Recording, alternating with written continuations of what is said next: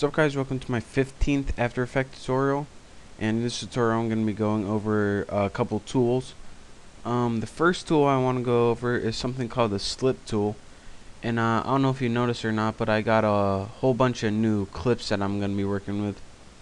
Uh, these are just clips, just random clips. You can use any uh, short movies or anything. Uh, let me just start out with this one.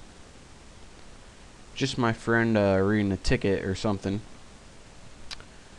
and what the slip tool does is take your clip right here which is this whole little blue bar is my movie and it allows you to adjust in and out points.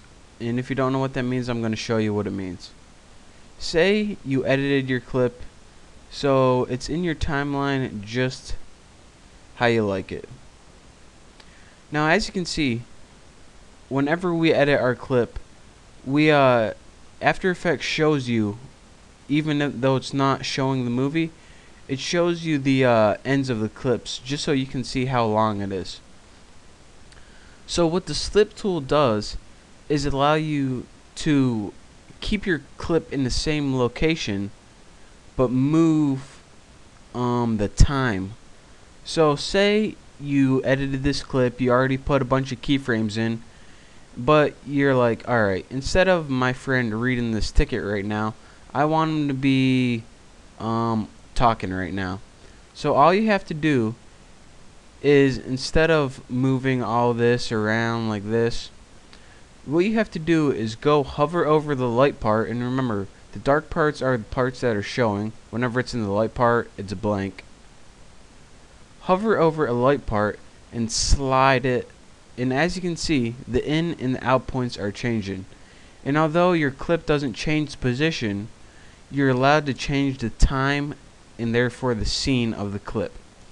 So this is a very useful tool whenever you got everything laid out and all your keyframes situated but then you go back and you're like alright I got everything just how it is but I just want to change this a little bit.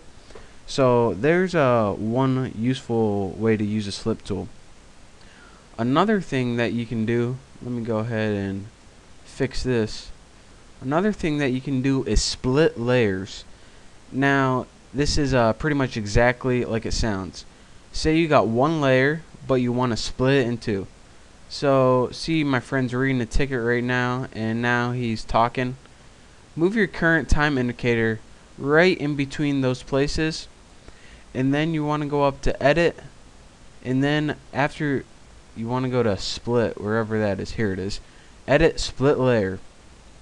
And now as you can see you got two different layers that you can work with. You got your uh, layer where he's reading the ticket that you can uh, apply keyframes to or animate however you want. And then you got a whole different another layer where he's uh, talking. So this is how you can uh, animate uh, the same scene split it up so you're not messing with the other part this is going to come in use a lot later. And the last tool I want to, actually the last two tools I want to go over you guys with is the overlay and ripple tool. And these pretty much uh, kind of act just like they sound. Say you got, this is the, uh, actually we made these two dance clips. And say we wanted to add a clip right in between them. To do this, we will need a tool called the ripple tool. So go ahead and get a uh, scene. This is an entirely new scene. And down here on the bottom right, these are the overlay and ripple tool. The overlay is the little arrow that's overlaying the gray thing. And the ripple tool is a little ripple tool. Well, that makes no sense, but you know what I mean. What the ripple tool does is pretty much take this scene and squeeze it in between your two clips wherever the current time indicator is. So as you can see, if I press this, now we have this first dance clip, the ripple tool squeeze this movie in between, and then we have our last dance clip. So instead of what was touching here and here, we now have this new robot scene in between. And what overlay does is a lot different than that. it pretty much says, alright, wherever your current time indicator is, that's where I'm gonna start. I don't care what's below me. I'm gonna lay my movie right on top of it. So as you can see, this doesn't try to squeeze in between or anything. It just pretty much lays on top and uh, takes justice over any scenes that were below it. So again, the ripple tool squeezes it in and doesn't mess with any of your other clips. The overlay pretty much is like a blanket and lays the new clip on top of your old ones. So that new scene is the only one you're going to get to see.